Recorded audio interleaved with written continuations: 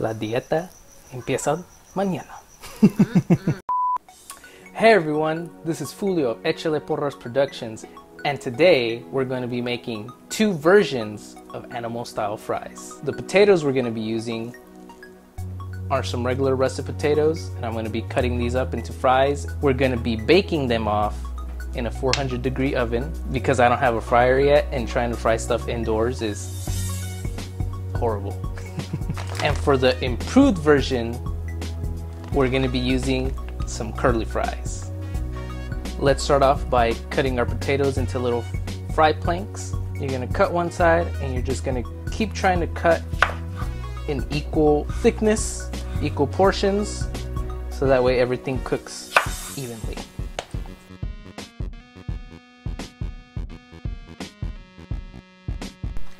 All right, once you got those cut up to whatever thickness, whatever size you want them, you're gonna take those and put them in a bowl of water for about 15 minutes to let the starch wash off. While the potatoes are resting, we're gonna be taking some onions and dicing them up. Once those are all nice and diced up, we're gonna get them cooking down on the stove top. All right, once you got a pan up to temp, around medium lowish, you're gonna wanna put all your onion in. You're gonna let that cook down for around 10-15 minutes. You don't want it to get scorched, you just want it nice and caramelized. In addition to the onion, we're also gonna be dicing up some bacon and getting that rendered down as well. So remember for your bacon, you want to start it off in a cold pan and then you want to turn on the heat to about medium and you want that to heat up with the pan. Alright, so our potatoes have been washed for about 15 minutes in the water we took them out and you want to get them really dry. You want to take any of that water off. If you got a salad spinner, use that. If you got some towels that you want to pat it dry down with, do that. But make sure they're really dry. Arrange them however you want. I have a lot of the smaller guys on the lower rack. I hit them with some oil spray and then hit them with some garlic salt. We'll arrange them like that. These ones elevated on the rack and the bottom ones with some parchment paper. These are ready to go in the oven. But first, we'll also get our curly fries ready. Again, you're gonna take another pan with another rack, hit it with some oil spray, and just get your curly fries on there. Say goodbye to your New Year's resolution now. Just like the other fries, we're gonna have some fries on the bottom and some elevated on top with the rack. Our oven is preheated to 400 degrees we're gonna put these in probably about 20-25 minutes, check them at that point. The curly fries should probably be done at that point. We'll see how our homemade ones go. Let's get them in the oven. So on that topic, last week I posted my Sonoran hot dog videos, but there was this one guy that his comment just really caught my attention, so I'm gonna read it out. You know, just because we're on topics of ovens. Because if you didn't know, I put my Sonoran hot dogs in the oven to cook so the bacon and the, the salchicha cook evenly. They cook well because I don't have a grill yet. Here's the comment. Nobody uses a fucking oven. Don't get me started on that salchicha type and everything else. This video Everybody uses a oven. Right? So, I mean, this made me laugh and it was just like, really? Anyways, on to the next thing. So for the sauce, I'm going to be making it a little bit different than what traditionally may be used, but hopefully it's an improvement. So we're going to start teenage boy when he figures out what he can do in puberty. OMG, ew. So to start off, we're gonna get about a cup of mayo and to that, we're actually going to be adding about a fourth cup of our chipotle mixture that we made the chipotle mayo with back in our Sonoran hot dogs video. If you haven't seen that one, go check it out. And then you're going to mix this. After you have that nice and mixed into a chipotle mayo, we're going to add a bit of mustard, a bit of ketchup, a little bit of barbecue sauce. Once you have that mixed up, the last thing we're going to be putting in is a bit of diced up pickle and a little bit of the pickle juice into the mix. And get that pickle. And you'll mix. Give it a taste. That's great. All right, so we're gonna make a plate each. I put some sharp cheddar on top of both of them and we're gonna throw them in the broiler for a bit. Make sure you don't leave things in the broiler for too long because they will get burned quite easily. But we're gonna throw these under the broiler to get the cheese melted. Here it is in all its melty goodness. So now let's continue assembly of the fries. We're gonna top this with our animal style sauce.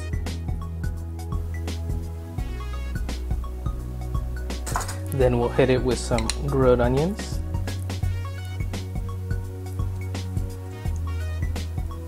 And last but not least, some bacon.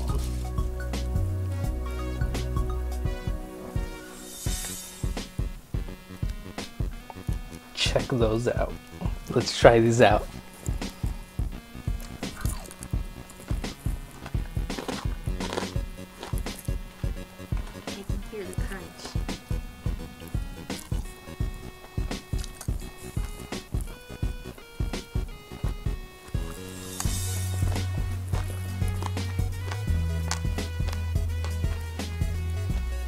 Cut! Mm. Cut! You need to stop eating.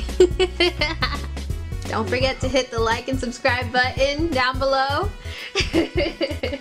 Wow. hit the notifications button. Comment and let us know what you would like to see next. What she said. These are just awesome. Go out, make it, buy it. Just, just, just eat this. Eat what makes you happy. Hit the subscribe button. Subscribe to to everything. Hit that like button. Hit the notification bell, and just, just cut. Oh, you know that's crispy. Hey everybody, this is Fulio of Echale Porras Productions, and today we're going to be making two types of pizza. Today we're actually going to be making our own dough. So to start off, we need to get one cup of warm water that's between 100 and 110 degrees. You're to get a pack of active yeast, pour that in there. You're also to get a teaspoon of sugar. Mix that up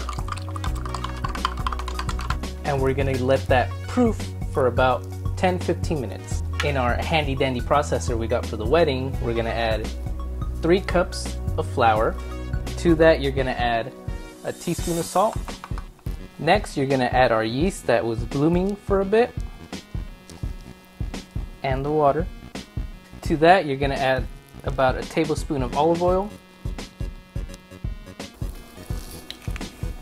and just let that mix together. just until it forms a ball.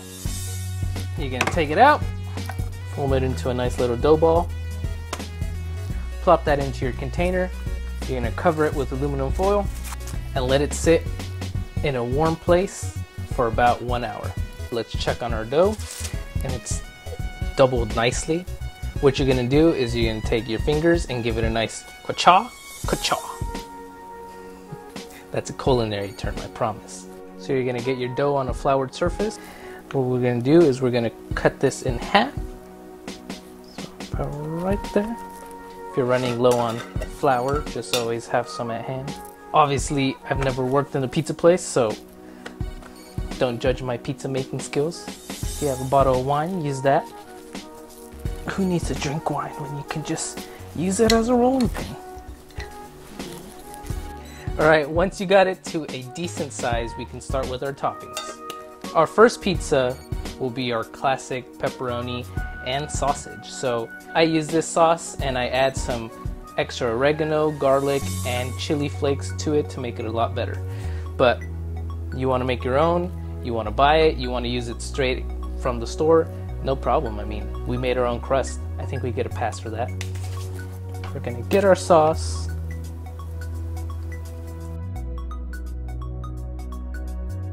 After your sauce, you're gonna put some cheese. We're using some mozzarella here. Again, as little or as much as you want.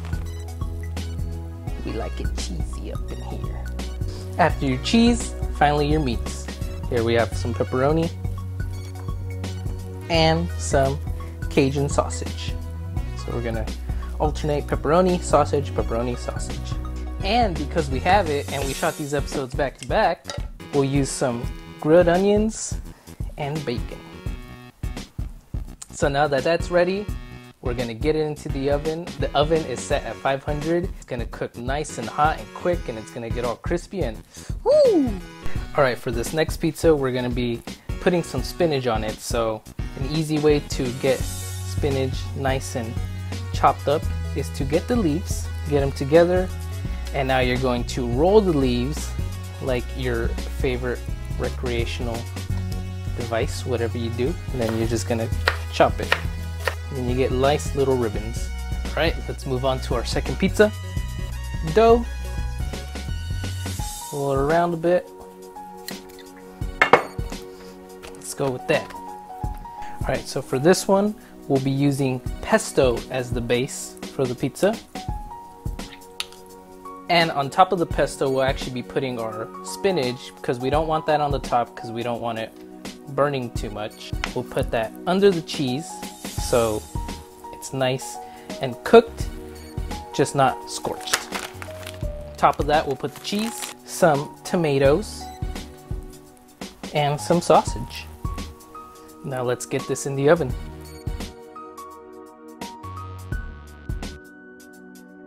Look at these beauties.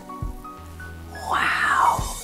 I was a little worried of how these would turn out because this is my first time making the dough from scratch. But I mean, just look at that.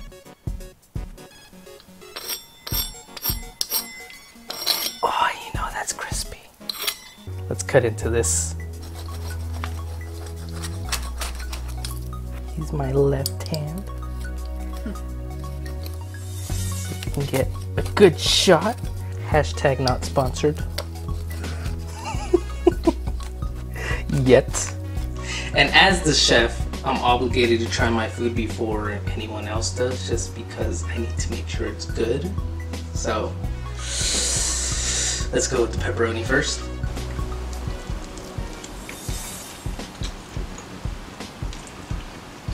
I make some good shit. Alright, now let's try the pesto one.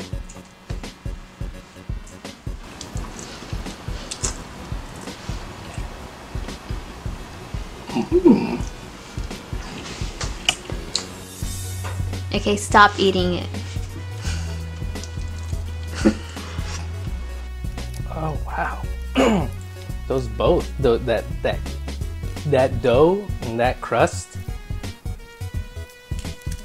That's where it's at. Even if it doesn't come out a nice circle, even if it's a little, eh, but cook it. I mean that that that's great. Like honestly, let's just do the outro because I want to get back to eating this pizza. If you like what we did here, like, subscribe, hit the little notification bell so you're always notified of when our next video comes out, and just go out and cook because this is better than what you'll get in the store. So, have a good one, and remember, nobody uses fucking ovens. Take uno. I don't know how to do this anymore. It's been so long. hey everybody, this is Fulio of Echale Porras Productions, and today we're going to be teaching you how to make a simple yet elegant dish for Valentine's Day.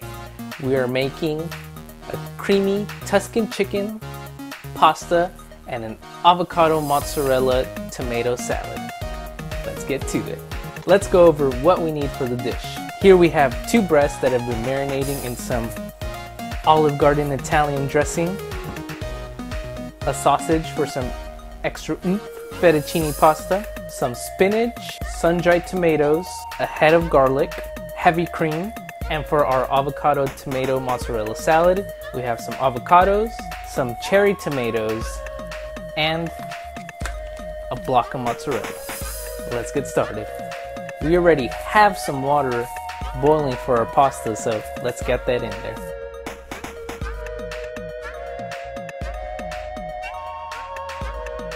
Let's get started with our little side salad. Here you have some fresh mozzarella. For today, we'll be using just around half. So as you can see, they're already cut into pieces. So all we need to do is cube them up a bit and they'll be good to go. Simple pieces, not too big, not too small. We can move on. Let's move on to the cherry tomatoes. For these, we're just gonna cut them in fourths. So we're gonna go half, take your two halves, and cut that down the middle. Get nice pieces that aren't too big, not too small, just like the mozzarella. And lastly, we'll get to our avocados. As usual, knife down the middle, go around, split them in half, cut them in the skin, straight into the bowl. Let's do it.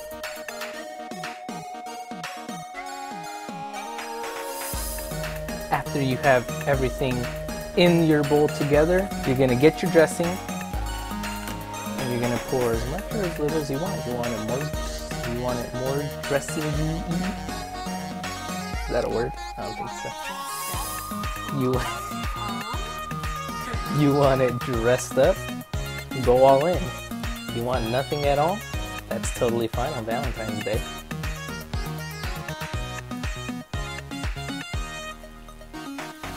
And get your spoon, I'm just gonna mix it. Be rough, be gentle, be however you want. There you go. Put that in the fridge, cover it up, and just wait for the rest of the food to be done. So we have our side salad done, our pasta's done cooking. So let's get to the chicken. Here we have the chicken out of the marinade and our sausage all chopped up. We have a pan with some oil heating up over medium heat. Let's get this done. You have your oil heating up. You want it a bit smoking because you want the chicken to get some color when you put it in. We're gonna put the chicken in for about four minutes each side. Let's get it done.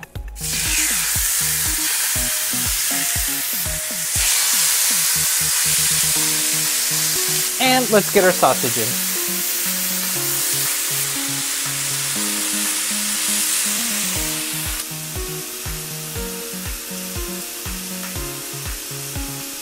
All right, it's been about four minutes. Let's get them flipped.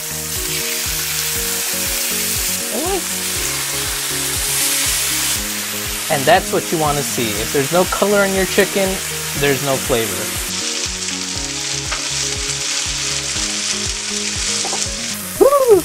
All right, once those have been cooking for a bit, we can take it off the heat and we'll put the chicken to the side to rest. All right, once your chicken and sausage is done, what you're left with is the fond, which is all these little burnt, quote unquote, pieces. But there's a bunch of flavor in here, so we're gonna deglaze the pan and we're gonna make our sauce. To start our deglazing process, we're gonna use a bit of wine.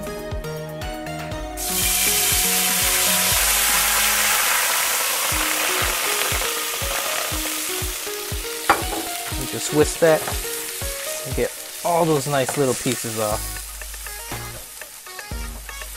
You're gonna let the wine reduce just a bit to burn off any excess alcohol that's in there. Once your wine's reduced down a bit, you're gonna come in with your heavy cream. Like that. Give it a nice whisk. Get everything incorporated throw in your garlic and you're to start letting that reduce down.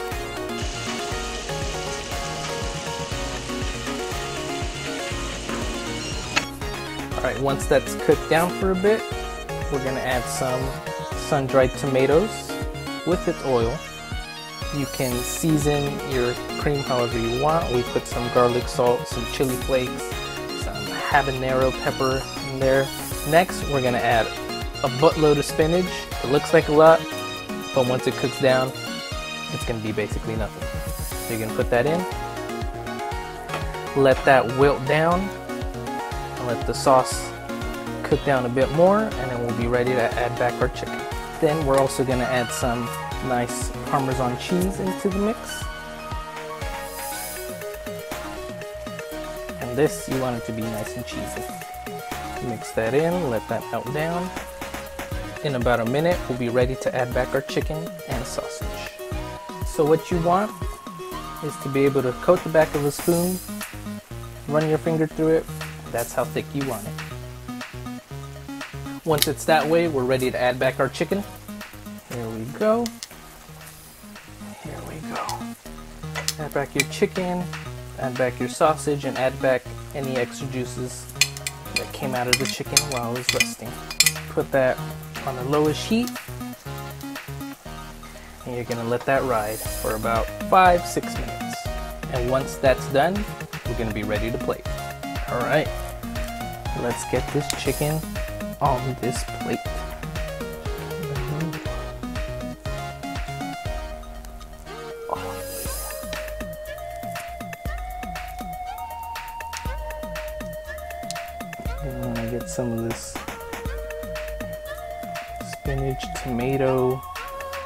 Sausage. Get some of that sauce going.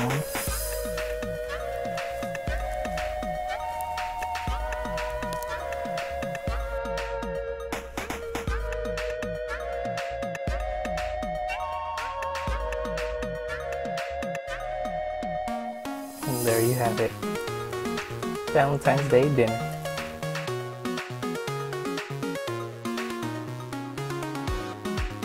Let's try this. Let's try this out. Look at all this chicken.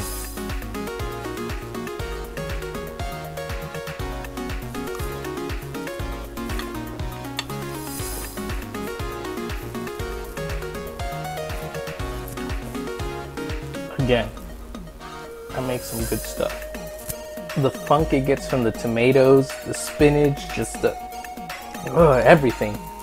Let's try the salad. This I've made before.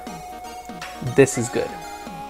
Make this, make this, make them separate, make them together. Doesn't really matter. Let's wash it all down. Ah. I hope you give this a go. I hope you like how it turns out. If you do try it out, make sure to send us a picture at our Instagram, Echale Porras. As always, I've been Fulio. If you want to subscribe, the subscribe button will be up here. Latest video over here. And go out, have a happy Valentine's Day, be safe, and have a great one. That is some good dip. Hey everybody, this is Fulio of Porras Productions, and today we're going to be making one of my favorite side dishes, spinach artichoke dip. Let's go over what we need to make the dish. For your base, you're going to need some mayo, some sour cream, a bit of heavy cream, and a star, some cream cheese. For your fillings, you're to need a buttload of spinach, some artichokes, a couple cloves of garlic, and a variety of spices. We have here some paprika, crushed red pepper, garlic salt, and some pepper.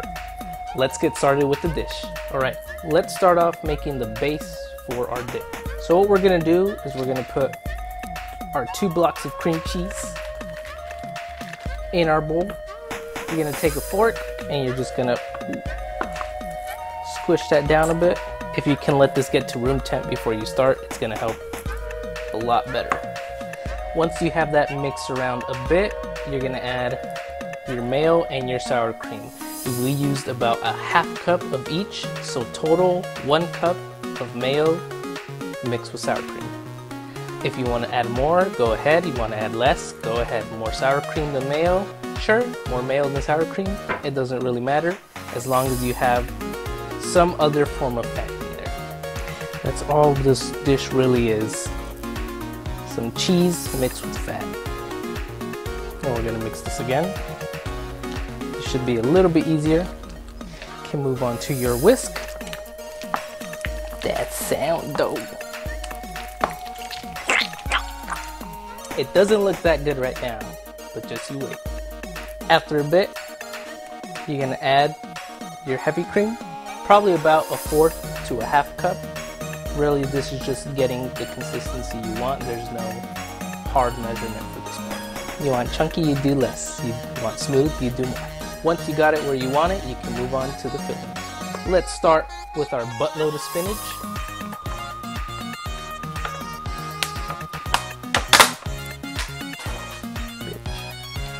So an easy way to chop spinach quickly is you're gonna get your leaves and you're just gonna stack them Usually you want the biggest leaf on the bottom. So you're gonna take a stack and you're going to roll them like your favorite recreational activity.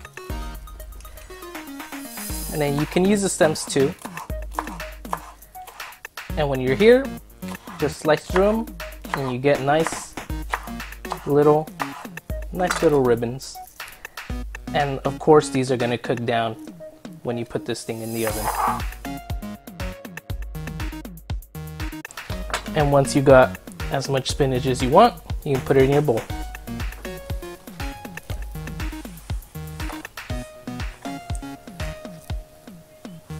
Get it in your bowl and just fold it in. Let's go to our artichokes. You can get them whole, you can get them canned. I don't really know how to process artichokes when they're fresh, so I just get the canned ones. You're just gonna take them, give them a nice rough chop.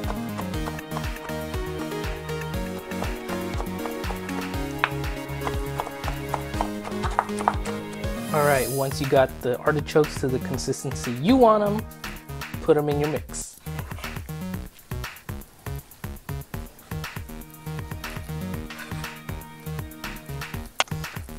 And fold those in as well. Next, you're gonna put some garlic. We're gonna start with about three cloves and we'll see how it is from there.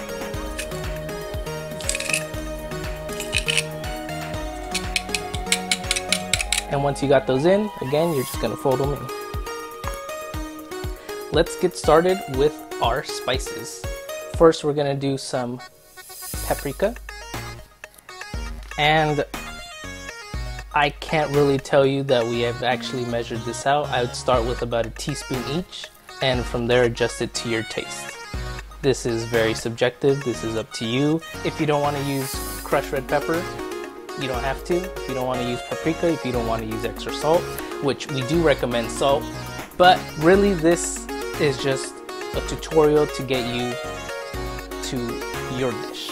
Start out with some paprika. Enough to cover the top. Some crushed red chili flakes. Some black pepper.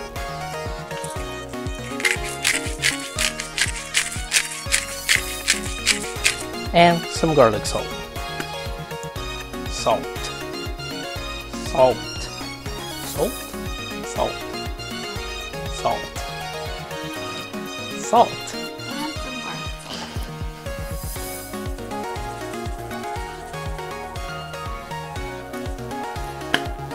Now fold that all in.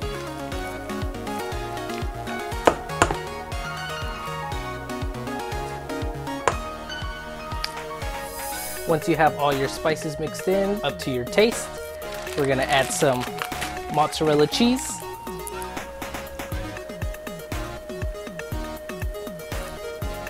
After your mozzarella, we're gonna go in and we're gonna hit it with some parm.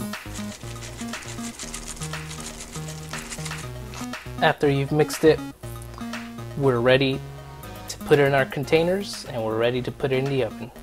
Let's get it containered. Contained. Container sounds cool. So, we don't have any little fancy special containers to put these in yet, so we're just gonna put them in our glass containers and two mugs that we have because we can and It's portable. it's portable, Individual size.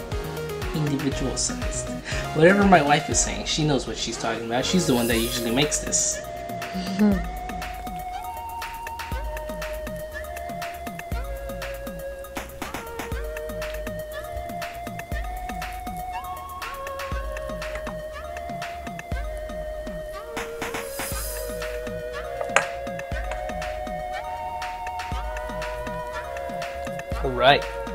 Once those are in their containers, we're gonna top them off. A bit more cheese.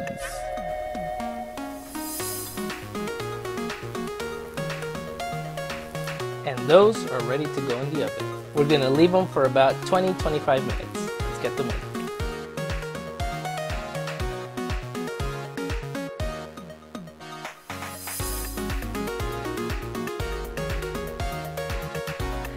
There we have it. Spinach artichoke dip. Perfect for any occasion party, superb owl party, football, sports, just to make on any random day because you want it and you record it and put it on YouTube. Doesn't really matter. Let's try it out. First we'll go chip. Something I haven't done before, I toasted up some little pieces of bread. I really want to see how it tastes on this.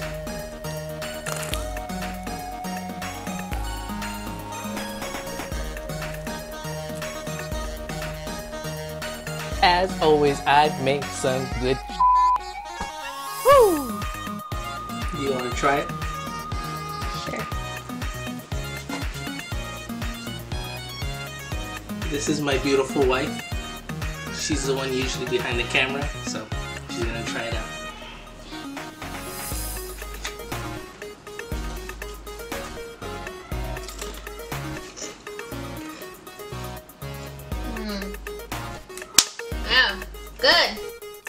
So you can leave that as a dip, or you can use it for a variety of other dishes.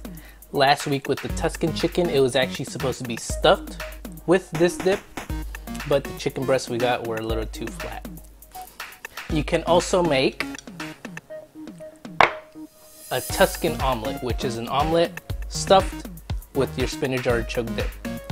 Here we have it with the steak on top. And I'm gonna try it out with a spoon.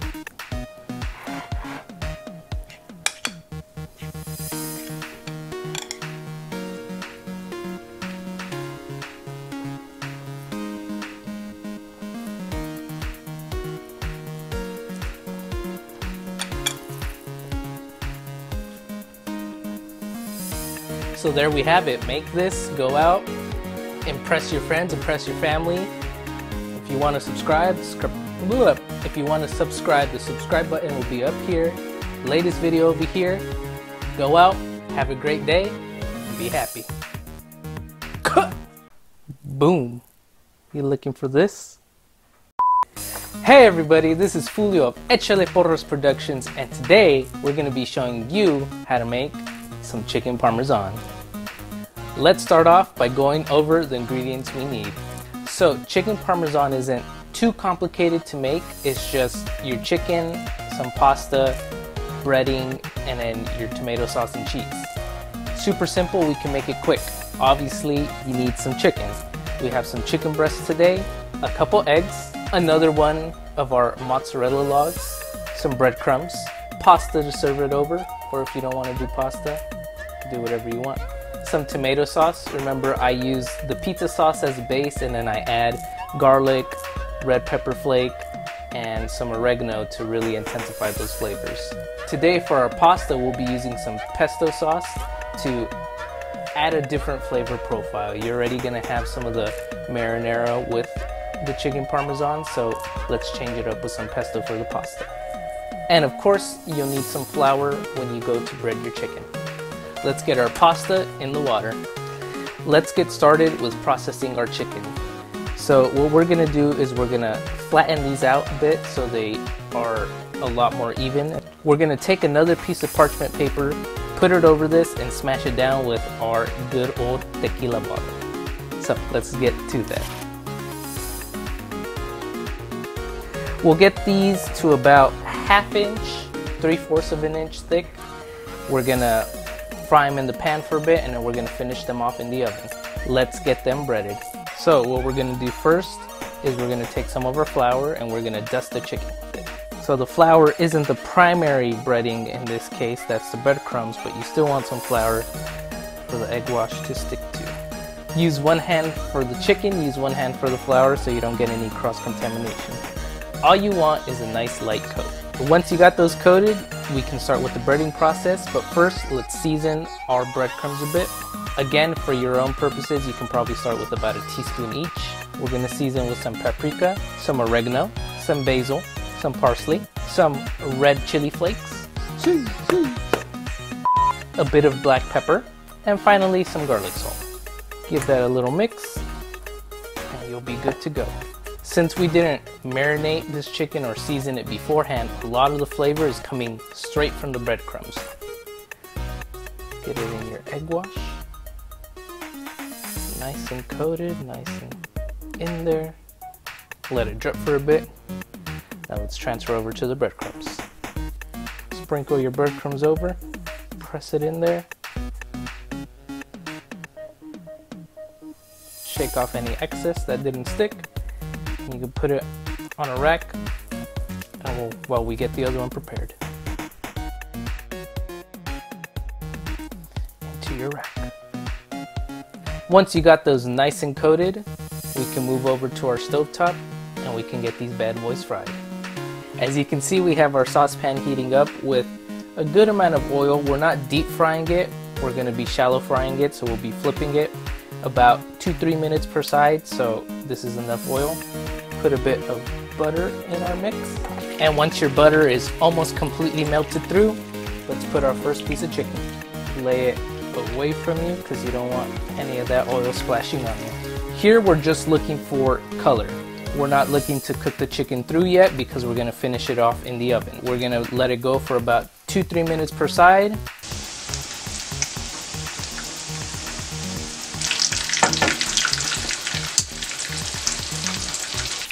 All right, once you got it nice and colored, you can put them off to the side and we can start getting our pan ready for the oven. All right, once you've cleaned up your pan a bit, let's get it ready for the oven. So what we're gonna do is we're gonna take some of our tomato sauce and we're gonna put a bit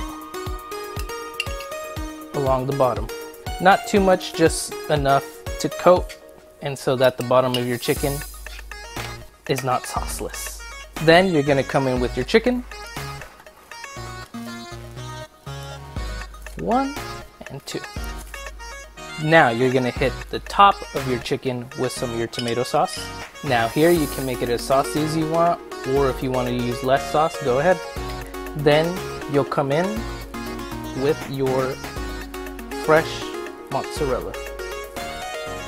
For just a bit more flavor, we'll top this with some pesto. Not a lot, because we'll have some in our pasta. Some extra herb. Here we're putting some more basil and some more oregano. And these are ready to go into 350 degree oven for about 15 minutes. You want the internal temperature of the chicken to come up to 160. You can take it out, let it rest, and then it will climb to 165, which is the recommended temperature to heat your chicken to. Boom. You're looking for this?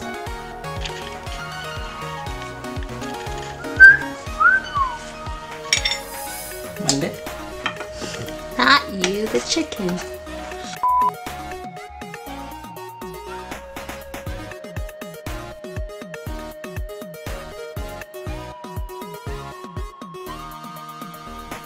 Whew.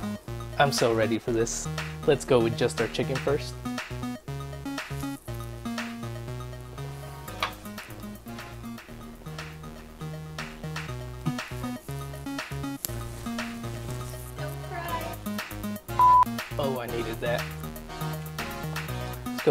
Pasta. If you haven't had pesto pasta, give it a try. Now let's go chicken and pasta. Just because we can.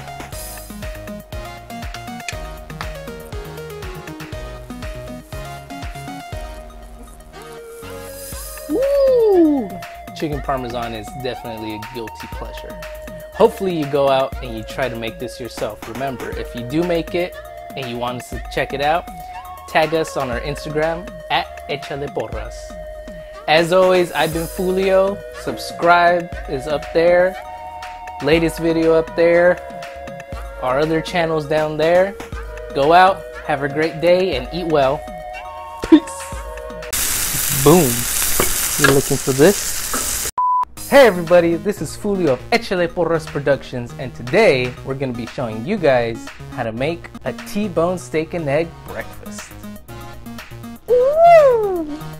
So for our breakfast today, we're gonna keep it pretty simple. Here we have some potatoes and onions, three eggs, and our main course, a T-bone steak.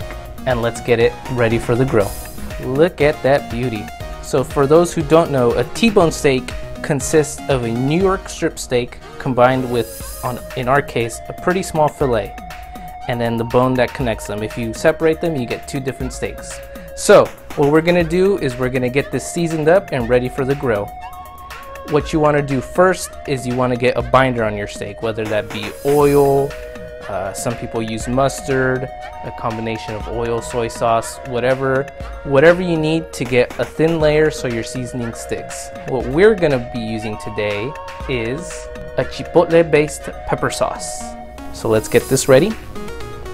Know, get that on your steak, get a nice even layer.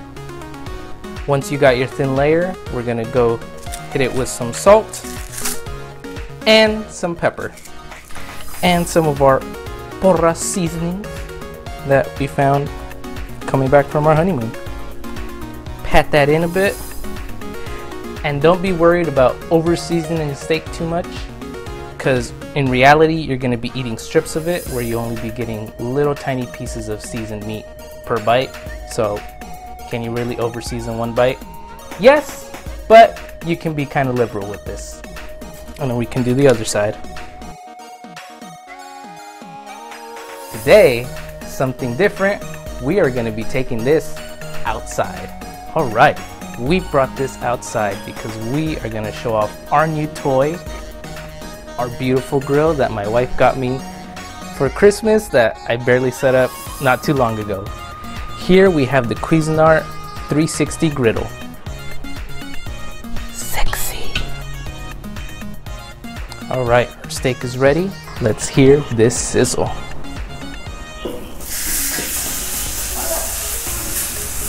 Oh, that sounds beautiful.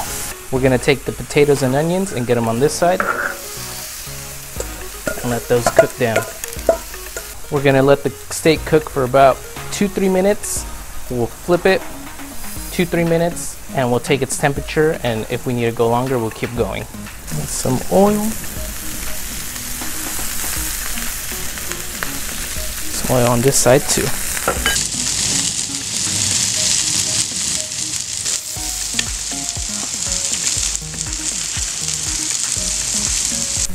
All right, it's been about two, three minutes. We're gonna flip our steak.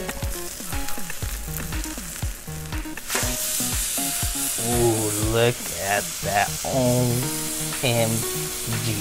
ADM. Ay, Dios mío. So, on this side, we're gonna let it go for another two, three minutes. We're shooting for an internal temp of 120. We'll pull it off, let it rest. But while we have it here, we're gonna be basting it with some butter, some garlic butter. I'm just gonna go across the steak. And this is just gonna give it an enhanced flavor, a nice butter flavor, and it's just gonna be gorgeous.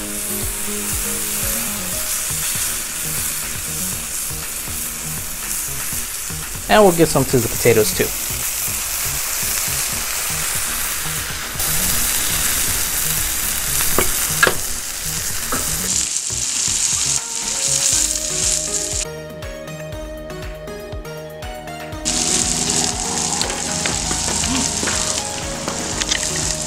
All right, it's been about another two, three minutes. Let's flip it again. That, that was a fail probably another minute or two and we should be fine with the steak. While that's going, let's get our huevitos on. If you want to go ahead and scrape the little brown bits off, you can, but we're going to keep them on because that's extra flavor. So egg number one, number two, and number three. This is to be gorgeous. Let's get our steak off. Gorgeous, gorgeous, gorgeous. Let that rest. And our eggs. Already.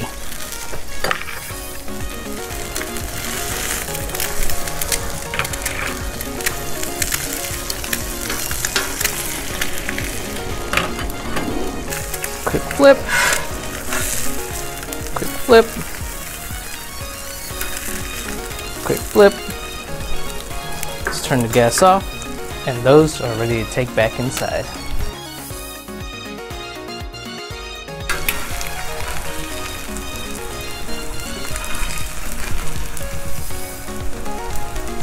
Look at this. This is beautiful.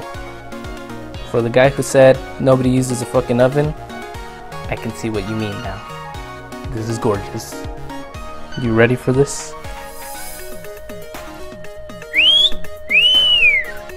Look at that steak. Let's go with it.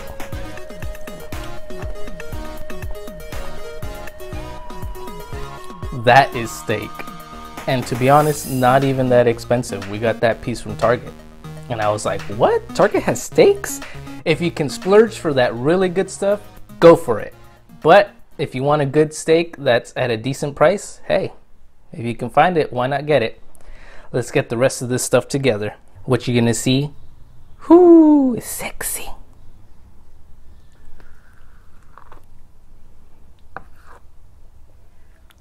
Oh yeah.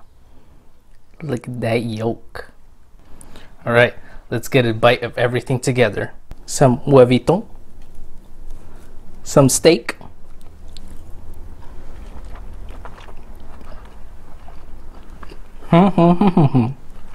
Potatoes.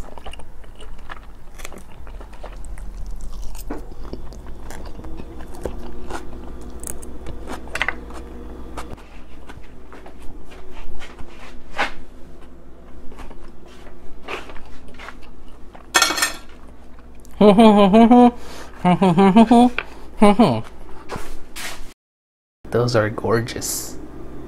Hoy me pasé. Hey everybody, this is Fulio of Echale Porras Productions and today we're going to be showing you guys how to prepare two different types of chicken wings. Alright, first of all, big shout out to Fern El Hayer if you've been on the Fulio channel. He generously donated a big ass bag of chicken wings to us and he's the reason we're doing this recipe today. So thank you, big shout out to you, you're awesome. Love all you guys. Another big shout out to the first channel donator, my tia Loli. We're just totally grateful to you. Thank you. Let's get on with the recipe. All right, so for today, we are using whole wings. And we're gonna show you how to break them down to get the drum and the flat. The tips don't really have much meat. We can use that for like a caldo, but we'll probably just be getting rid of these for our purposes. What we're gonna do first is we're gonna get the tip away from the rest of it. You can do that. Really, you're just gonna be getting these and popping the joints and then cutting in between those joints.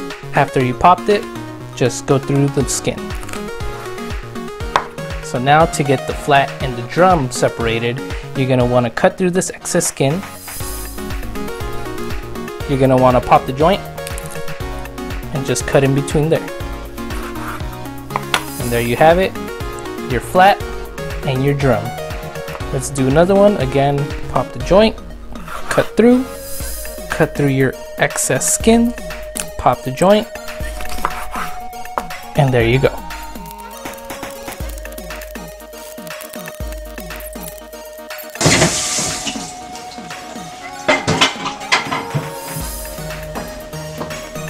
All right, once you got all your drums and your flats separated, we're gonna put them on a wire rack and we'll season them up. We'll give them a quick pat down just to make sure they're nice and dry.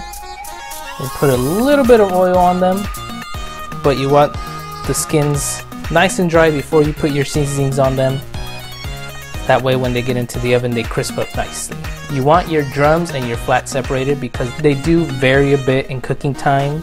These are gonna be tossed with our original buffalo sauce and these are gonna be glazed with a chipotle barbecue sauce. Let's get them seasoned. For our chipotle barbecue, we're gonna be seasoning with our Memphis style barbecue rub. For our original buffalo sauce wings, we're gonna be using some garlic salt. You'll flip.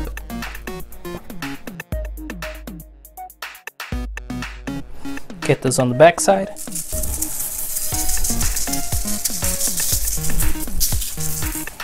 once you got these seasoned up, they are ready for the oven. We have our oven preheated to 400 degrees and we are gonna let these cook for about 40 to 50 minutes or until their skin is nice and crispy.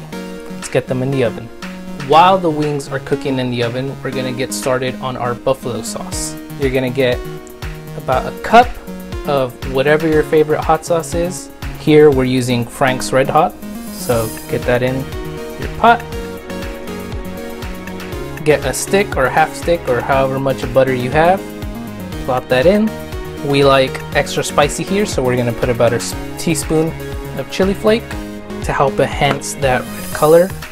We're also gonna do about a teaspoon of paprika and to round it off, some pepper. A tu gusto. Gonna whisk that together a bit until the butter melts down. Keep going, let it cook down, let all the flavors melt together. Once the butter's melted and once it's cooked down and the flavors have mixed, you can turn off the heat. You can put that aside to cool. Bring to a simmer and let that cool down while your wings are in the oven. See there, and cut. So we have our hot, our but, so we have our, Our butt. Oh, LOL. So we have our buffalo sauce already made, and now we're gonna be mixing together our ingredients for our chipotle barbecue sauce. You're gonna get your favorite barbecue, about a cup, and then we're gonna get a half cup of the base we use for our chipotle mayo back in the Sonoran hot dogs video. If you haven't seen that one, you can check it out by clicking the link in the upper right hand corner. So you're gonna put that in. Again, you're gonna whisk them together a bit. Put some pepper. Whisk that together. Let it come up to a slow simmer, and your chipotle barbecue sauce is done. Look at these beauties. Woo, I'm so ready. Now let's get these tossed in their sauces and then we'll put them back in the oven for a couple minutes just so those tack in.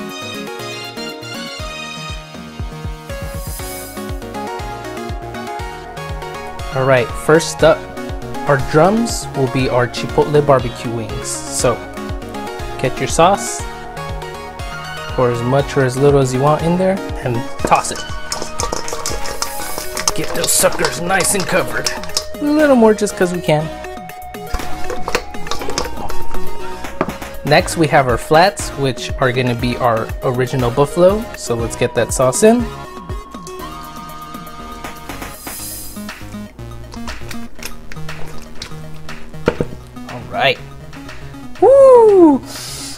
That really clears up the sinuses. These are gorgeous. We're gonna get them in the oven for a little bit longer just so the sauce tacks up on them.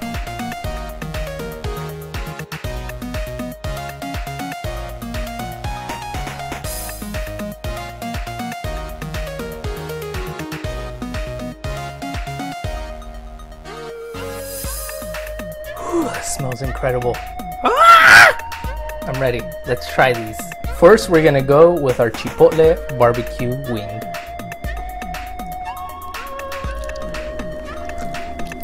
I'm not gonna finish the whole thing because I know my wife wants to eat, so I'll hurry it up. Next, let's go with our buffalo wing.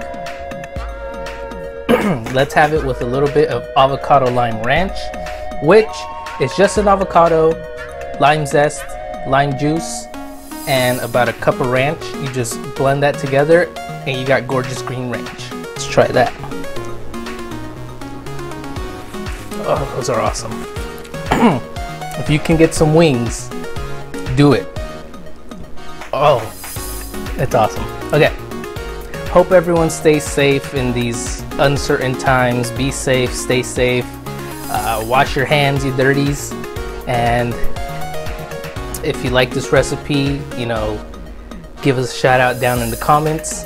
Uh, go check out last week's episode with um, my cousin Manny. Made an awesome shrimp cocktail. Go check that out. Give it some love. It's only a minute long, so even you guys with short attention span should be able to watch it all. Once again, big shout out to Fern, LJR, for getting us these wings. And another big shout out to my tia Loli for you know donating to the channel and for always always believing in what I do ever since I was a little cerote running around. Thank you, and have a good one. Be safe. Hey everybody, this is Fulio of Echale Porras Productions, and today we're gonna be showing you guys how to make some barbecue bacon smash burgers.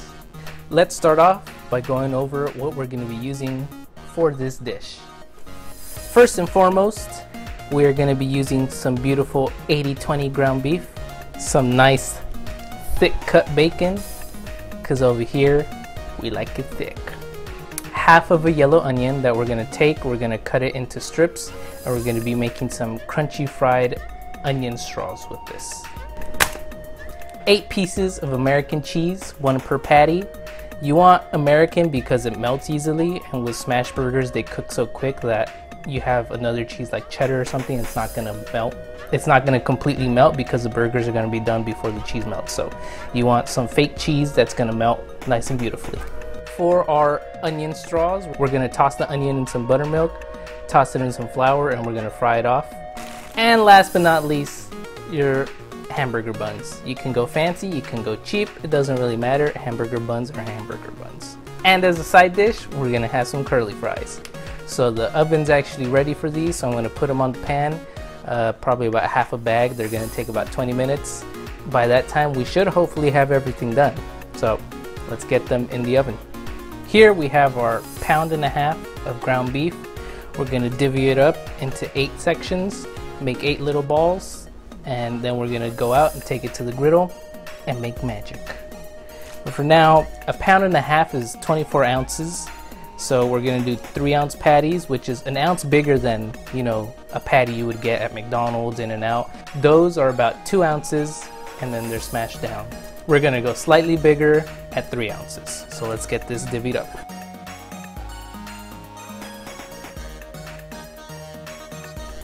So you're gonna wanna make them about the size of a meatball. If you wanted to go meatballs here, you could just take this, throw it in the oven, and you got a beautiful ass meatball. But we're gonna take it to the griddle, we're gonna take some of the wax paper with us, cause then we're gonna smash it down. And it's gonna just come out so beautiful. Now I need to roll that one back up. Last piece before we take this party outside, we're gonna get your onion and just cut some strips, not super thick. They're gonna be covered and you're gonna wanna fry these quickly. And the thinner you cut them, the less time it should take. Once you got your onions cut up, you'll put them in a bowl. Get your buttermilk, you're gonna pour that in, just enough to cover it just enough to get every piece of onion coated. We're gonna then dredge it in the flour. Once you got your onions covered in enough buttermilk, you're gonna take your flour, season it up a bit. This is the same seasoning we're gonna use for our burgers, just some seasoned salt. You're gonna shake off the excess buttermilk, and you're gonna take your onions, just toss it in the flour until they're nice and covered. They don't have to be perfect. I mean, they're to be fried and they're to be crispy and they're to be awesome and they're to go on your burger and you're just to love it. Once you got everything ready, we're to take this party outside. All right, we're outside, back outside with the Cuisinart 360 griddle. As you can see, got my bacon already going. It's almost done. We'll take it off in about a couple seconds here. I also have a pan heating up with some oil where I'm going to be frying our onions. After that's done, we're going to go with the burgers. I'm going to put all eight of them, smash them down. They're going to cook for about two, three minutes and then we'll be done and we can go inside and assemble our burgers. Our oil is nice and hot. Let's get our onions in and let them start frying. Good amount, you don't want to overcrowd it, but you still want a nice amount in there toss them around, and let those ride for a couple minutes. Alright, the moment we've all been waiting for. It's time for the burgers. What you're to do first is you're to get all your patties and just line them around.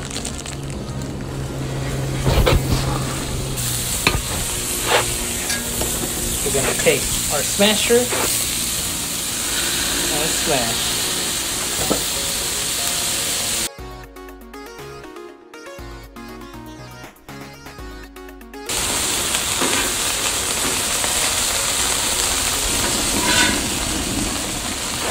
We flip.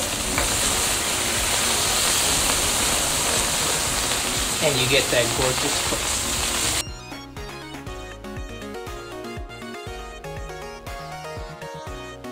Once we flip these, we're gonna hit them with the cheese.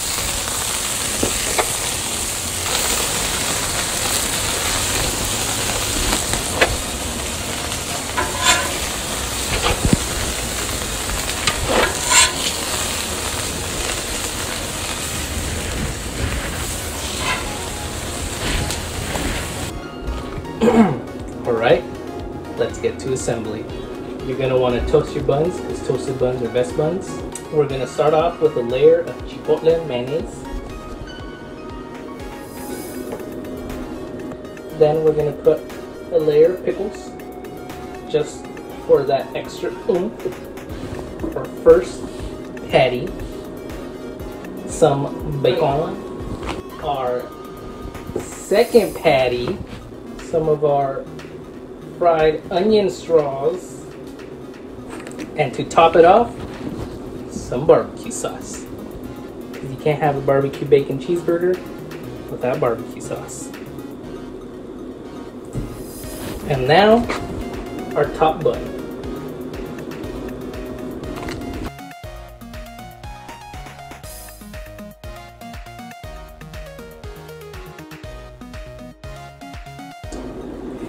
Let's cut this in half let's give it a try.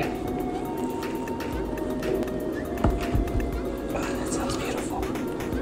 Let's do this. O-M-G. Look at them layers. Look at this.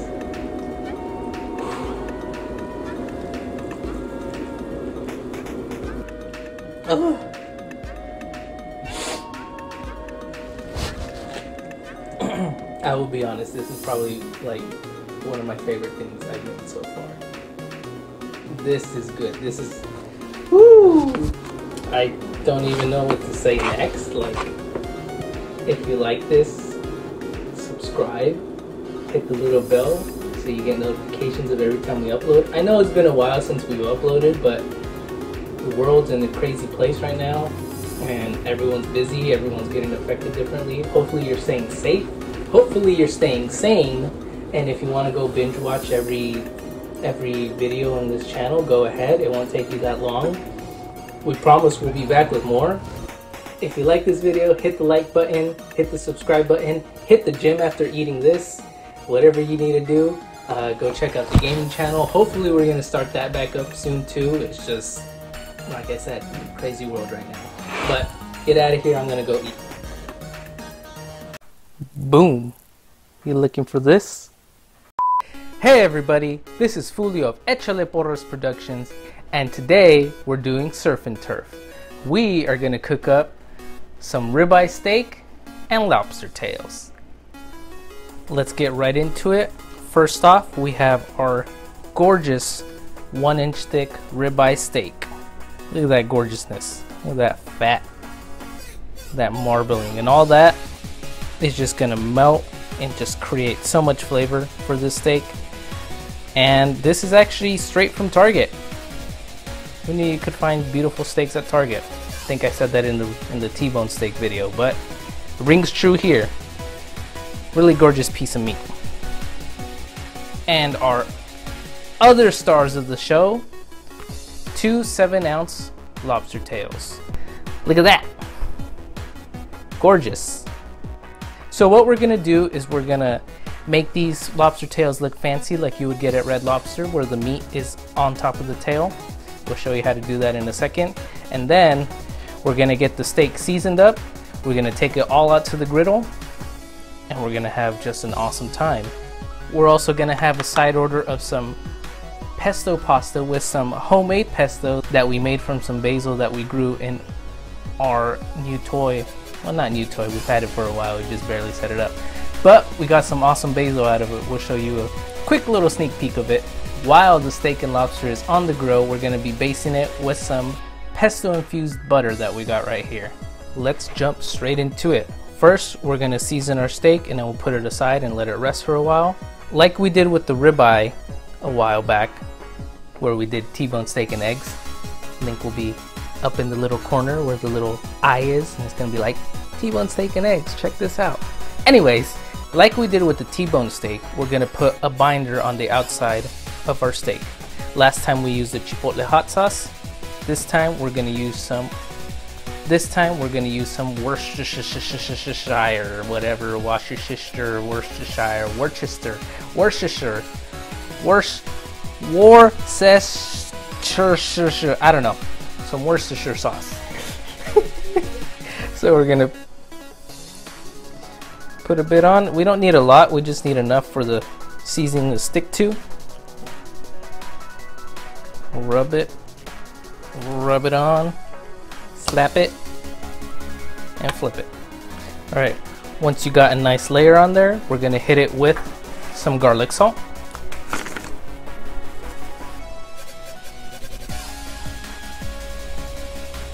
You can season them quite generously because when you cut it up, you're only getting tiny pieces of the seasoned part anyways. So you can go overboard, but it's kind of hard to. We're gonna hit it with some freshly cracked black pepper. And then we're gonna go with some salt-free seasonings. If you look at it, it has quite a variance in texture among the pieces. It's a bit thicker and more coarse than the seasonings we have on the steak. And cooking it with this will give us a nice crust and a bit of a textural difference when we bite into it because the salt and the pepper are quite fine. So let's get that on the steak.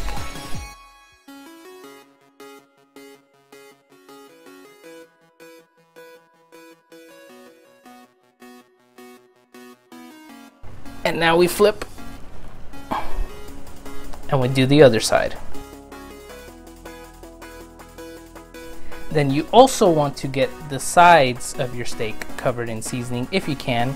You know, just try and mop up any extra seasoning you got left on your cutting board. Is this a crucial step? No. But more flavor is more flavor. And once that is nicely seasoned, we're gonna put it aside and let it rest until we're ready to grill. Let's move on to our gorgeous lobster tails. So there are many ways to cook a lobster tail. You can put it in a steamer, you can boil it. But what we're gonna do is we're gonna cut along the shell, take out the lobster meat and lay it on top of the tail to get that beautiful presentation. We could just take out the meat and just cook it like that, but let's try and go fancy here. So what you're gonna do is you're gonna get your tail, you're gonna get some nice kitchen shears. You're gonna go right under here. Make sure you don't nick any meat. Not that it really matters, but you're gonna cut down right until you almost hit the base of the tail. There we're gonna scoop out the meat and lay it nice and flat across.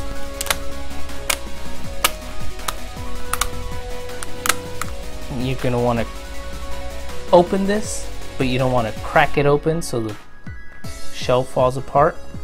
Just enough so you're able to get your fingers in and you're able to get the meat out. You're gonna work your fingers along the shell. Most of the meat has been separated from the shell. I'm gonna take it, I'm gonna lift it up, close your shell, and boom. And your lobster tail is ready for the grill. Let's see if I can do that quicker on the second one. And it looks like we're ready to take this party outside. Alright, we're out here once again with the Cuisinart 360 griddle and we're gonna be cooking both our steak and the lobster tails on the grill itself. Let's get this opened up. And let's get cooking. Our heat is set to about medium high, so let's get the steak on there first. Some oil. And here we go.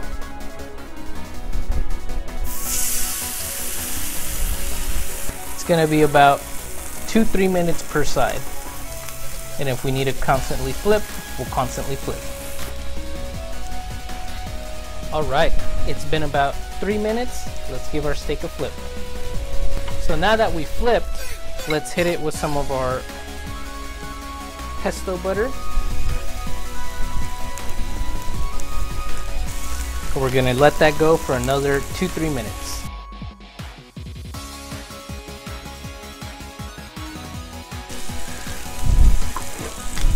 Alright, our internal temperature has hit about 117. So we're going to pull the steak off and let it rest and that internal temperature will keep on climbing as it cooks. Now the moment I've definitely been waiting for, let's get these lobster tails on. We're going to let these sit on the griddle for a bit. While these are going, you're going to want to hit them with some of your butter. And that's going to help some steam start rising. And the smell is just woo, gorgeous. After about a minute or two, we're to hit it with some water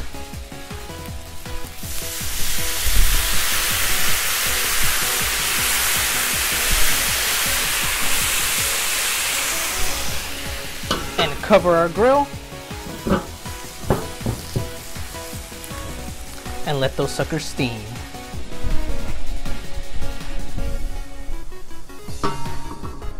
After about a minute and a half, two minutes, you're gonna hit them with a little bit more butter.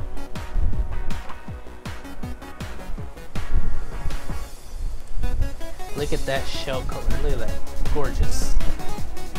And these suckers should be ready to go inside. Alright, we've let our steak rest for a bit. It is now the moment of truth. It out. Oh, that is gorgeous. Oh, that's perfect. Ooh, look at that. Nice and pink and reddish and just perfect. Let's cut this up.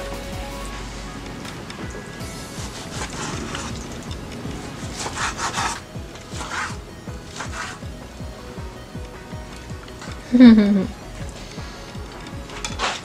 let's get all the components on a plate.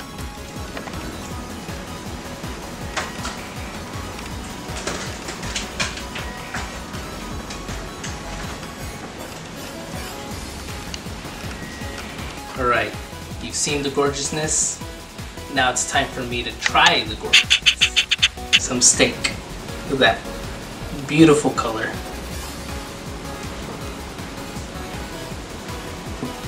beautiful color, beautiful flavor. Just so tender. You like you take a bite and it melts just like the butter.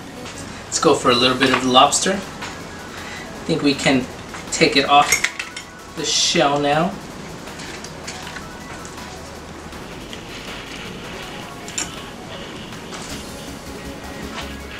Super light, super fluffy, a load of great flavor from the pesto butter. Now because I can, a bite of each together. Some pasta, some lobster, and a piece of steak. Surf and turf and pasta.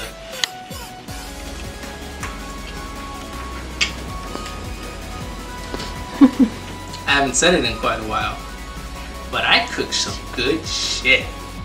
Like, woo!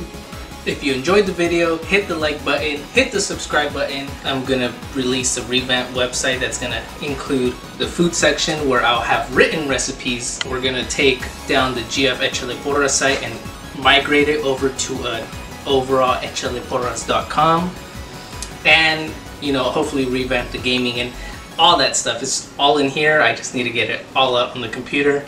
Speaking of which, I need a new computer if anyone wants to donate. The Links are down in the description. Zelle, PayPal, Venmo, whatever.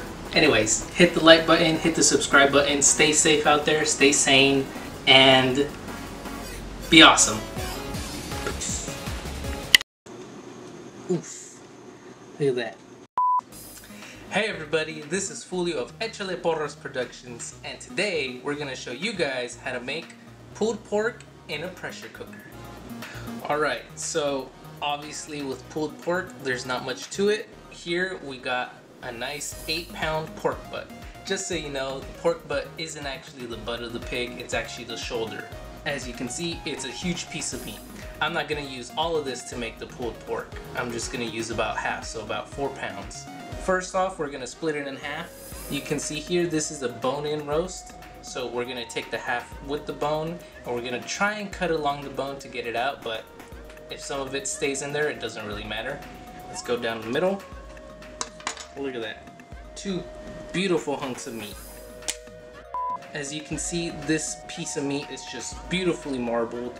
There's nice intramuscular fat. There's the fat cap up here, which we can trim down if we wanted to, but it's gonna get integrated into the pulled pork and just create so much flavor. The butt roast is a pretty cheap piece of meat. We got an eight pound roast for about 15 bucks, and that's Orange County Irvine prices. So where you are, it might be even cheaper.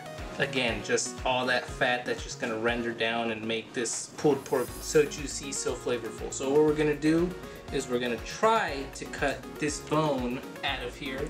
We're gonna use one of our smaller knives so we can get in the nooks and crannies. And this beautiful piece right here, we're going to save for another day for another recipe that I already got in mind. All right, let's get to it.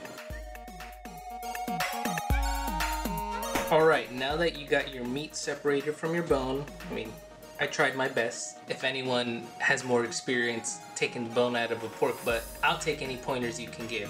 If we were smoking this, we could have left the bone in, and once it was ready, it would just come out cleanly. But since we're doing this in the pressure cooker, we need to get our meat into smaller cubes so it cooks evenly and it cooks all the way through. Now we're also going to be throwing this at the top just so any lingering meat will cook and we can pull it off after. We got our meat, just get it into cubes. Big or small, just make sure they're all roughly the same size. So we're gonna go for about one by one cubes or little flats in this case. Now that these are all cut up in a relatively, blah, blah, blah. now that these are all cut up, Hold on, let me, let me focus. Hold on. Now that these are cut up into a relatively even size, we can go ahead and get them seasoned and ready to saute in the pressure cooker. So, like with all our meats, we're gonna go for a binder first. Today we're gonna be using some more Worcestershire sauce. And you don't wanna put too much. You don't wanna glob these, you don't wanna marinate them in this sauce. You just wanna get a nice thin layer that your seasoning will adhere to. So, let's get a bit rub that in. One hand dry, one hand for the meat. Today we're going to be hitting our butt cubes with some Memphis style barbecue seasoning, which just has salt, cayenne pepper, some garlic, chili powder, black pepper, onions, celery, and some paprika. And as you can see, this is a lot of meat and not all of the seasoning is going to stay on because we are going to pressure cook it so with the liquid that's in there, a lot of the time it's going to be braising. So you can season this pretty generously. That was a huge chunk of meat. This is about four pounds. So go season. Nice and coated. Then we're to hit it with some chili pepper flakes because we always go for some heat and some of our salt-free seasoning just to impart some more flavor into the meat. Pat that in. Let that set up for a bit and now we're gonna do the other side. So flip all these dudes. You can see some raw butt. And once you're on the other side, some more your barbecue, your red pepper, and your salt-free seasoning. Now we're gonna put these to the side, let them tack up, let the salt penetrate the meat just a bit, and we're gonna get our pressure cooker ready to saute them. Here we have our lovely pressure cooker. What we're gonna actually do before we start pressure cooking our little butt pieces is we're gonna hit the saute option here and we're gonna let the pot heat up and we're gonna go in and we're gonna sear our butt pieces. What this is gonna do is give our butt pieces a nice sear on the outside to give it a better flavor and the little brown pieces that get left behind, we're gonna use that fond to impart even more flavor into this. You're just leaving behind flavor if you leave it there. So we're gonna sear these and then we're gonna get our liquid together which is gonna go into the pressure cooker. A pressure cooker needs some type of liquid inside of it to build that pressure. If that pressure never builds, it's never gonna lock and your timer is never gonna start counting down. Let's let this heat up for a bit and then we're gonna start searing. So as I mentioned before, a pressure cooker needs some kind of liquid in it so it can build the pressure necessary. So what we're gonna do is we're gonna take two cups of hot water and we're gonna add two teaspoons of powdered caldo de pollo because each teaspoon equals one cup prepared. From there, we're gonna hit it with a teaspoon of garlic. You could add more, you could add less depending on your garlic needs. A teaspoon of Worcestershire sauce. Another teaspoon of our Memphis style barbecue rub. And a teaspoon of our salt-free seasoning. If you're ever trying to figure out what measurements we use, when in doubt, always go with the teaspoon and adjust from there. Lastly, we're gonna go with a bit of barbecue sauce, probably about two squirts. You're then gonna mix this, and that's ready for when we start pressure cooking. Did you break my chopstick? So we've let our pressure cooker come up to its saute heat setting. So now we're gonna get these pieces, we're gonna toss them in, we're gonna get some nice browning. As you can see, I already tested a piece down here. What we're gonna do is we're gonna get some oil in. And let's get these butt cubes into our pressure cooker.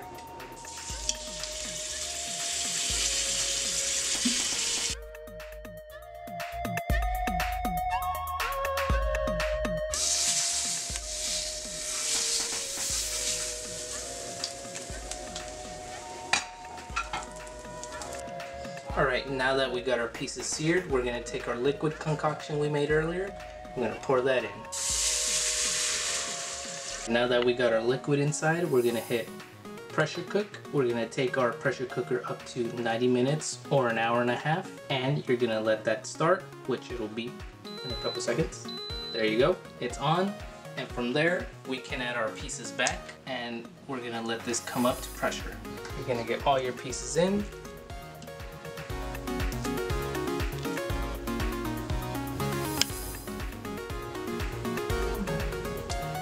We're gonna add just a little bit more water, just so things are nice and covered. And now, making a return from earlier, our bone, which we're just gonna put right here at the top. Last but not least, we're gonna get our lid on.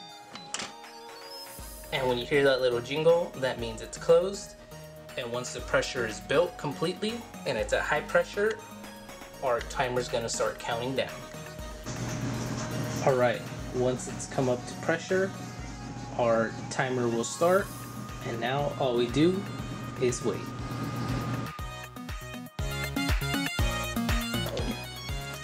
Alright, so it's been an hour and a half, and this thing smells awesome, and now it's ready to depressurize. Up here there's a little dial that says sealing or venting. We're gonna push it to venting and all the steam and all the pressure is gonna release. So this is probably gonna take a minute or two. minute or two.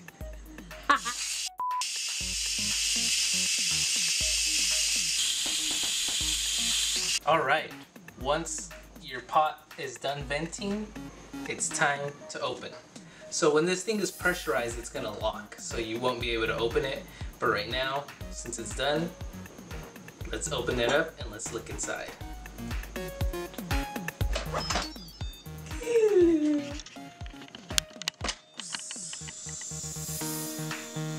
And like I said earlier, there's our bone, all nice and clean. So now what we're gonna do is we're gonna take the meat from the pot, we're gonna put it in here, and we're gonna use some forks to shred it. Alright, as you can see here, this is just some of our meat, this isn't all of it, but it's so tender that if I just squish it down with this spoon, it already starts coming apart. And that's when you know that it's just ready. And once you got all your meat out of the pot, you can put that aside, and let's get to shredding this. And there it is, in all its shredded glory. As you can see, definitely a big difference between a pressure cooker pulled pork and a smoked pulled pork. One day we'll get there. One day when I get a smoker or we're over in Tennessee and Kyle wants to shoot a video with us or if Fern wants to go ahead and shoot a video with us and let us borrow his smoker, I mean, by all means. This pulled pork can be a base for a lot of dishes, but definitely how can you make pulled pork and not make a barbecue pulled pork sandwich? So that's where we're going next. Boom! two buns. So, for our pulled pork sandwich, we're gonna start off with some pickles, a nice dollop of pulled pork. And how do you have a barbecue pulled pork sandwich if you don't got some barbecue? Put the top of the sandwich on, and you got barbecue pulled pork sandwiches. Alright, let's do this. Oof. Look at that. Let's give this a taste.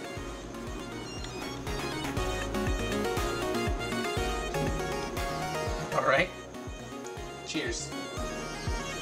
That hits the spot. After waiting an hour and a half. Oh.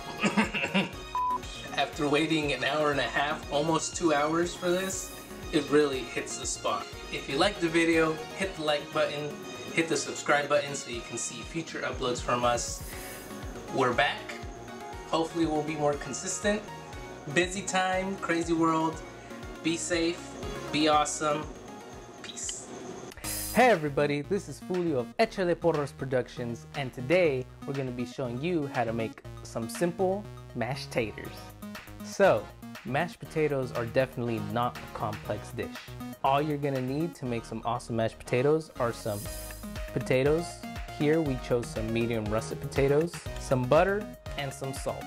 To go a little extra, you can use some heavy cream to add to the overall creaminess of the end product. But for basics, you're just gonna need potatoes, butter, and salt, and that's it. All right, so to get things started, we're gonna cut these into thirds, cut those in half, and from there you could go ahead and throw them in your pot and get them boiling. But as I said, the smaller you cut them, the faster they cook. So we're gonna go ahead and cut these again in half.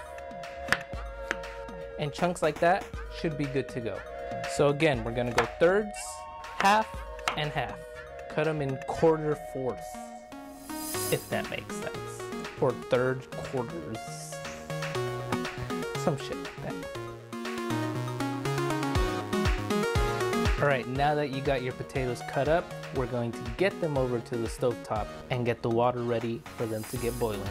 We got our pot filled with some water already. What you're gonna do before you get the potatoes in there is you're gonna take your salt and you're just gonna salt this bitch up.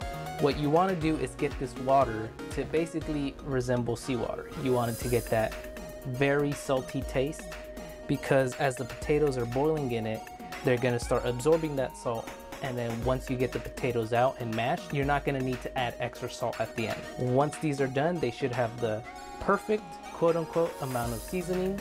So you're gonna get your salt and you're just gonna get it in there. Give it a nice stir. You didn't break that chopstick. All right, once you got your water salted, we're gonna get our potatoes. You're gonna wanna make sure your potatoes are topped off. So we're gonna actually put a little more water in here.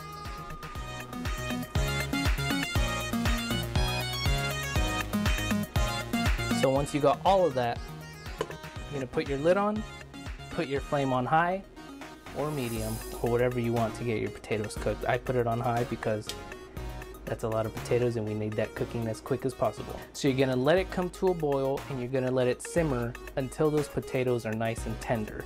Until you can get one and stick a knife or a fork through it super easily, just like butter. So let's just let that sit and now we wait. All right, so it's been about 30, 40 minutes. These potatoes have been boiling. Let's check them out.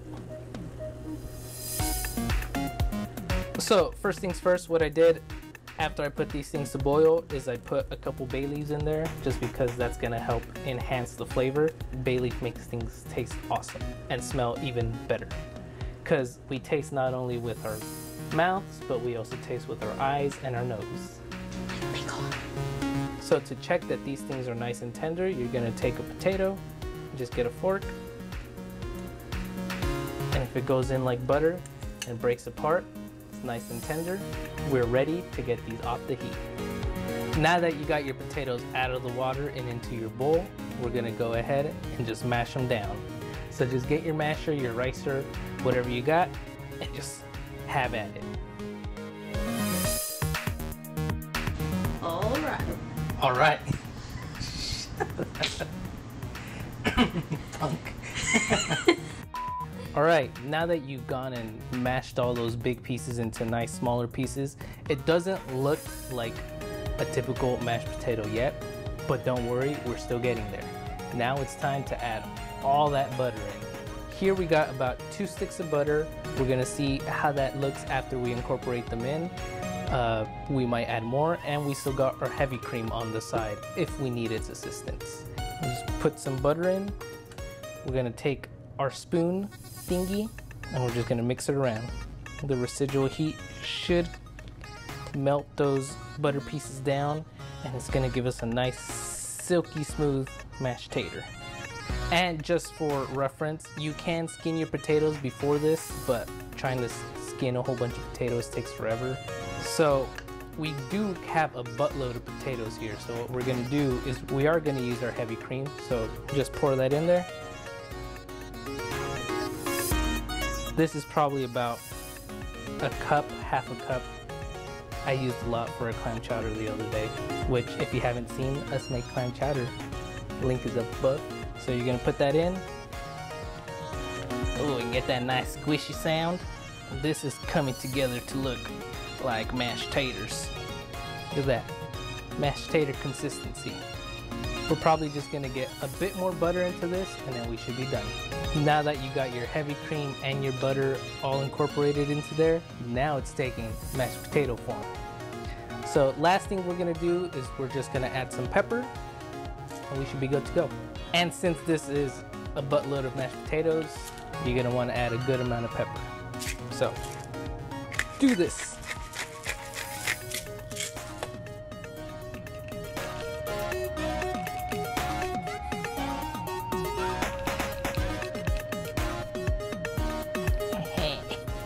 we got our mashed taters, which looks like ice cream, but if you didn't know, if you're watching an ice cream commercial, they're actually using mashed potatoes for, in the place of vanilla ice cream. So that's why it looks so perfect. But anyways, let's give it a try. That, them some good taters. it's nice, it has creamy, and It has creamy. It's nice, it has a creamy texture, perfect side dish to, to some barbecue, to steak, put a biscuit on the side, get some chicken tenders, whatever suits your fancy. Super simple recipe, super simple instructions, just gonna take a little arm muscle to cut those potatoes and to mash them, but really in let's say an hour and a half because those potatoes can take forever to boil sometimes you have some awesome mashed potatoes. So anyways if you like the video hit the like button hit the subscribe button. Hope you had a good 4th of july and happy birthday to me next week. So hit that subscribe button For his Pe- birthday. Peace. Hey everybody, this is Fulio of Echale Porras Productions, and today we're gonna be making some awesome tacos al pastor.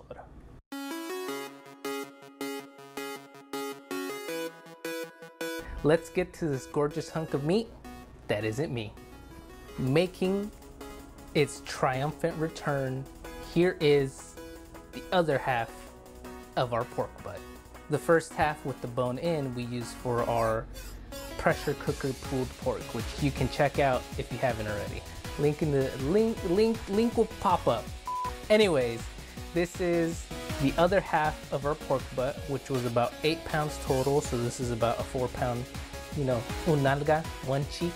So it's been almost completely thawed. What we're gonna do, we're gonna cut it probably into one inch to half inch slices. So let's do that. And you want this not completely thawed because it's much easier to cut partially frozen meat than it is to cut a completely thawed piece of meat because it's gonna be all wango. And use a decently sharp knife. Look at that gorgeousness. And there you have it. Gorgeous slices of pork ass. Friendly reminder, pork butt is not the actual butt, it's the shoulder. So we have our container here that we're just gonna get our pork slices and plop them in. So now that we have our pork nalga in slices, we are gonna make the al pastor marinade. Let's start off with our chiles. We are gonna be using some dried ancho and guajillo peppers. We're gonna cut off the top. We're gonna de-seed them. We're gonna toast them up in a pan for a bit, and then we're gonna boil them until they're rehydrated. We have our trusty chipotle peppers and adobo, some achiote paste to add more flavor and to give it that really nice red color that you associate with al pastor tacos or al pastor meats in general. An onion, some garlic, our trusty garlic salt, pepper, our salt-free seasoning, paprika, cumin, thyme, oregano, pineapple juice, juice and zest of a lime, juice of an orange, and some apple cider vinegar. Let's get that started. Let's get these chiles de-seeded. We're gonna cut off the top and you're just gonna tap it, open it up a bit. And there your seeds are. We are over at our stove top. We have our chiles in a dry pan over medium lowish heat and we're just gonna let them toast for a bit. The guajillos are not a spicy chile in general. They're more for flavor. The ancho is depending on your spice preference. You know, if you got white people spicy, Mexican spicy, and like super crazy Asian spicy, adjust flavors to your liking. So you can see these are starting to puff up a bit after they toasted. You're gonna toast them until your peppers get a bit pliable, which you can see. This one's getting a bit pliable now. After they've toasted for a bit, you're gonna go ahead, and hit them with some water.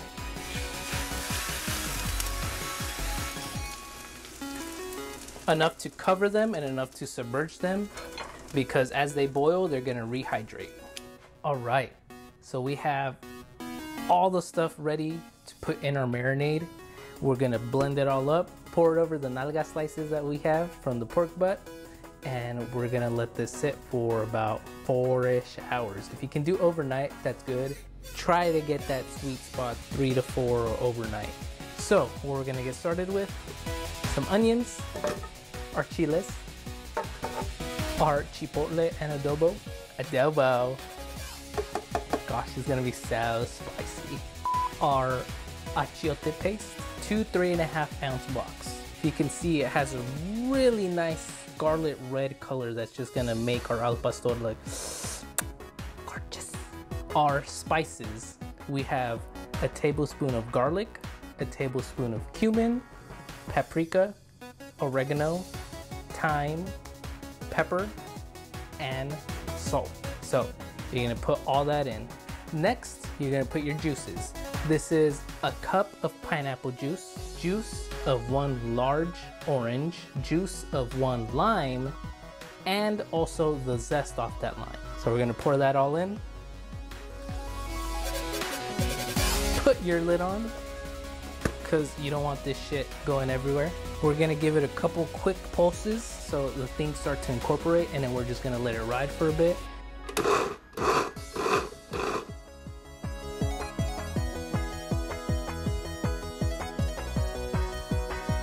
Done. And that smells gorgeous. Whew, that clears the sinuses.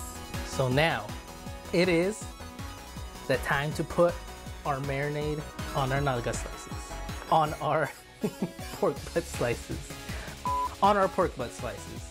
So we're just gonna get this and you're just gonna pour it in. Once you have a good amount in there, you're gonna wanna go in, get your hands dirty a bit, and just make sure all the pieces are covered. So we're gonna go in, flip these bitches, make sure they're nice and covered.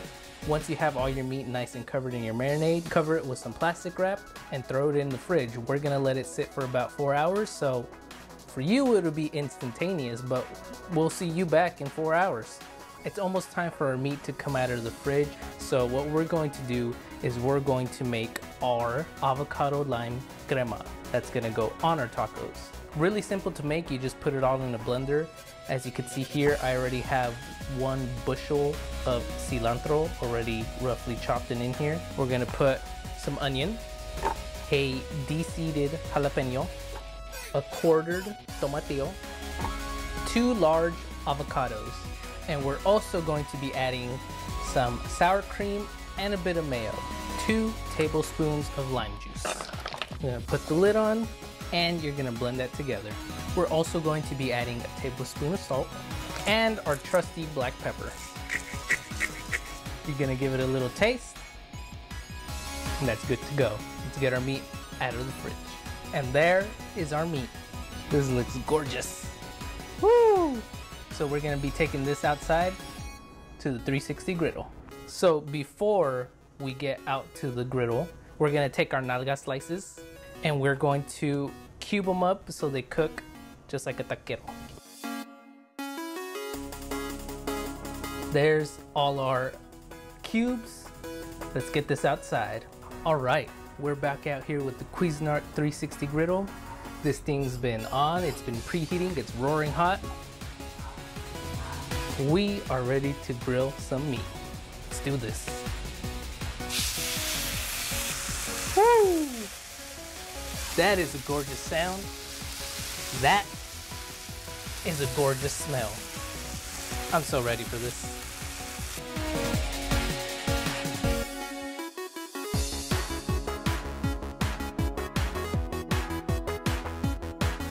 All right, as you have to have with all good tacos, we're gonna get our tortillas, get some of the oil from the meat, and get it on there.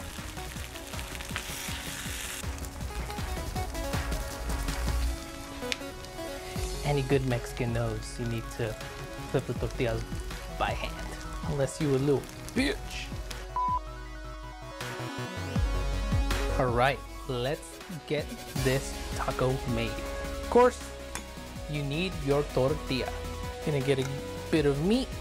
Gonna do some grilled onions that we cooked off while the meat was marinating. Some cilantro. Some of our avocado lime crema. Look at all that deliciousness. So gorgeous, we're gonna make two more.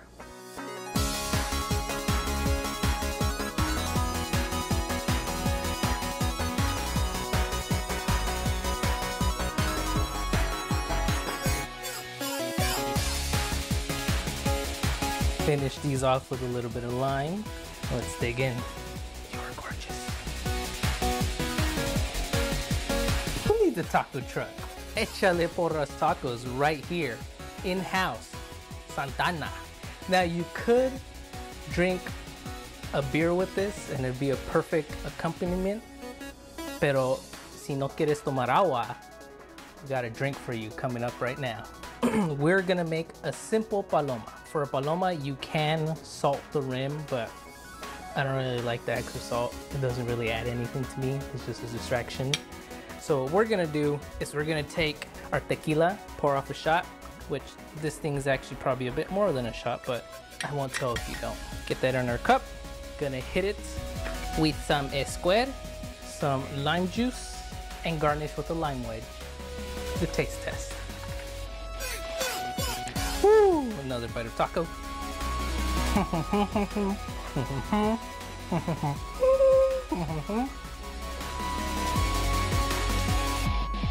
and we'll see you for the next video.